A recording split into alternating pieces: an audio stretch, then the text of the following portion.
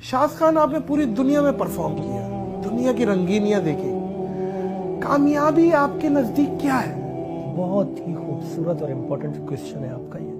बड़ा valid point सवाल है ये आपका। परसेप्शन क्या है कि लोग ये समझते हैं कि कामयाबी का पैमाना दौलत है।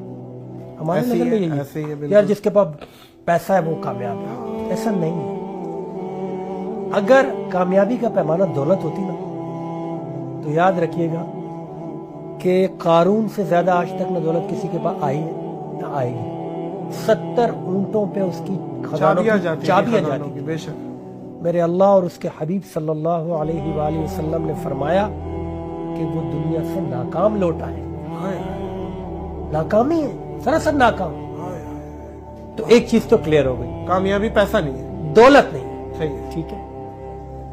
अगर कोई ये समझता है कि कामयाबी का पैमाना ताकत है यानी फौजें हैं। तो भाई फिरौन से बड़ी फौज किसी के पास नहीं थी। उस जमाने में 16 लाख फौज थी मूसा अलैहिस्सलाम के अगेंस्ट। लेकिन मेरे रब ने उसको फौजों समेत गर्क किया। कोई काम नहीं आई फौज? फौज नहीं है मालो दौलत नहीं। इसका मतलब है कि ताकत भी हटा दें आप ताकत भी हटा दे।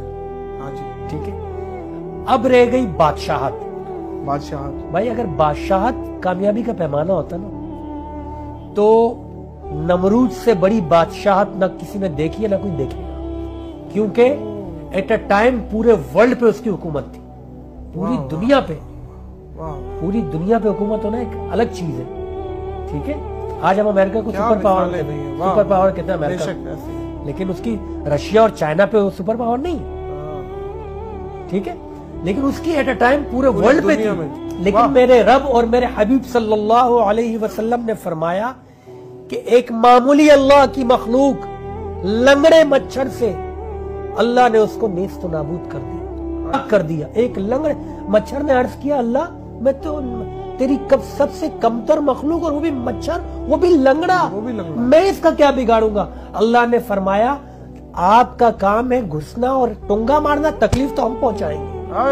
अल्लाह। अल्लाह तो इट मीन्स बादशाहत भी कामयाबी का पैमाना। बादशाहत इज़ नॉट अ दौलत। दौलत इज़ नॉट अ सिंबल ताकत। ताकत इज़ नॉट अ सिंबल तो भाई क्या है?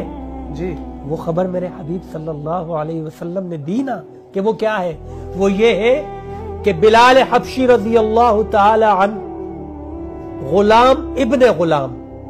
बाप के अलावा दादा के अलावा कोई नसब भी लोगों के सामने नहीं। लेकिन जब वो मक्का की गलियों में चलते तो आवाज़ अर्श पे आती। सुबह अल्लाह सुबह अल्लाह सुभान ये है कामयाबी। तुम्हारी जेबें खाली तुम्हारे कपड़े फटे पुराने लेकिन अगर मैं